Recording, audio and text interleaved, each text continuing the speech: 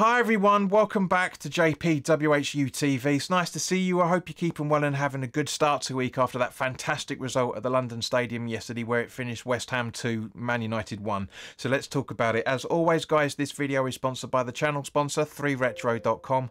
Please click the link in the description below that will take you directly through to the West Ham section of their website where you can purchase some really nice retro gear as you can see from the icon that's up here along with track jackets, polo shirts, sweatshirts and t-shirts made by Admiral and Umbro. So let's go check those out as well. Any purchases you make through the link in the description below, the commission that the channel would normally be getting, as I always say, I'll be sending on to the charity Iron Supporting Food Banks.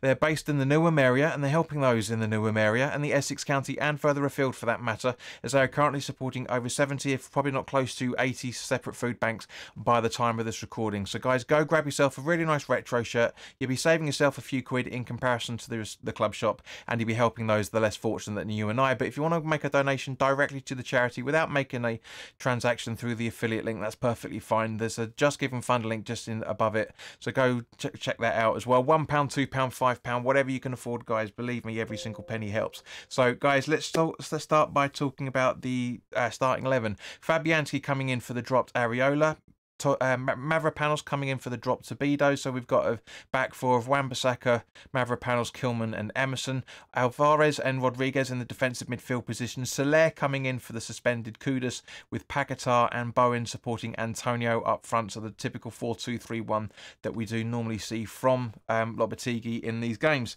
So guys, we were we were very, very lucky to be nil-nil at half time. I mean, I seriously mean that. I mean, eight minutes in, we could have been two or three down. We really could have been, and we could have been five or six down by the by the end of the first half. It was just it, honestly the amount of chances Man United couldn't take was unreal.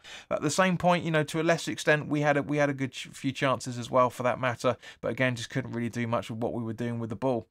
Um, so and then yeah, the the substitutions at half time just mind blowing, absolutely mind blowing. You know, Summerville, um, Soucek, and Todibo coming in from Mavropanos, Soler, and Paquetá, respectively. You know, it's just. I maintain that the reason why we, one of the reasons why we played so well was because A, because of Summerville, as I've been saying in my previews, and two, the fact that Paquetá wasn't on the field because his head wasn't right, as I said in the preview, and I haven't played, I haven't started Paquetá for good, a good while yet. So yeah, I do. I I generally think that's the reason. You know, those are those are the reasons. I mean, what a goal from, from um, what? How well did Summerville take that goal? It was just absolutely brilliant. You know, good ball over to him from from Bowen, and Ings was on by that point on the seventy first minute, replacing Antonio. So we actually had a centre forward that was actually natural for once. And Ings sets him up, you can argue, and bam, it's in the back of the net, and it's 1 0 on 71st minute. And Summerville just runs over and celebrates with Kudus. Because uh, apparently you know they are really really tight together, and um, and he gets booked for taking his shirt off.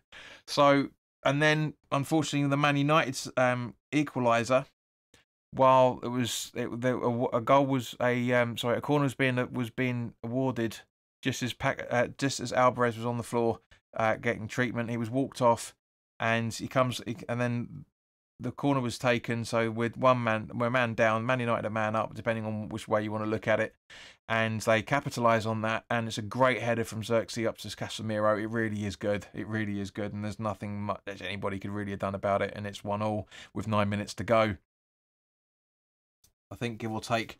Um, let me just double check that. What was the time of the goal? Uh, yeah, nine minutes to go, and then um, we we get a penalty kind of. I said at the time it was a penalty and it should have been awarded. Coote didn't think so. So Man United go down to the other end, um, and then it comes up on the screens just as Coote's running off to the script to be told to look at the screen. Comes up that via the Stockley Park guys have told him to take a look at the replay. Now the problem I have with this is not only was that about a minute or so after the, the initial incident, probably probably a little bit longer than that, but um, the fact that de Ligt was walking over to the Coote while he's walking over to the TV screen. Now you can't do that he's trying to protest his innocence. He's, you know, he's. Um, and what annoys me, the fact is he clearly saw the screen as well, for that matter, because one of the officials had to um, move him, move him away, as I think Onana was trying to do it as well. They were looking at the screen from a sideline, further back, I should say. Um, but at the same point, once the towards the penalty, all the Man United players swarm in. To be fair, you know there wasn't many many shouts for a penalty other than the crowd, to be honest with you. Um, but as I say, as I say, I think that was, I do think that was a penalty. And then all of a sudden, de Ligt starts doing that, which he didn't do beforehand. So he's obviously seen what's happened on the replay, and it is a handball by by um, Danny Ings because he's putting his arms out because he's about to crash into two people from being fouled. So um, there you go. It's it's and Bowen steps up with a great penalty. And Nano almost saves it. You know, he was nowhere near it, but he was pretty close at the same point.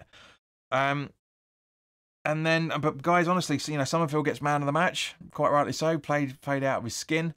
Um, Agued, uh, sorry, Agued, uh, Rodriguez and uh, Alvarez just played phenomenally well again. You can see why we, why that th- why that thinking was brought in. But you know, this is what I'm saying. It's the substitutions. It worked. You know, sometimes substitutions don't work. Sometimes they do, and they huge impact. Huge impact. It, it's uh, it's just it's it's incredible. You know, can you can argue in the balance of play that it's uh, it's a penalty. Um, the penalty gods were shining down on us because because uh, we didn't get the the foul the, the foul and the penalty for Summerville against Chelsea, if I remember correctly. Even though Summerville was in, in contact with players longer than Ings was, um, so yeah, it is. It's just I'm happy with it. I'm very very very very very happy. The fact we got two wins on the bounce now at home. Yes, all right, we lost to Spurs in between those two, but nine games in now. We're coming up to the tenth game, so we're almost a quarter. We're just over a quarter of the way through the season. Things are starting to click, but we're not there yet. So, guys, put your comments in the comment section below. Let me know what you're thinking on this.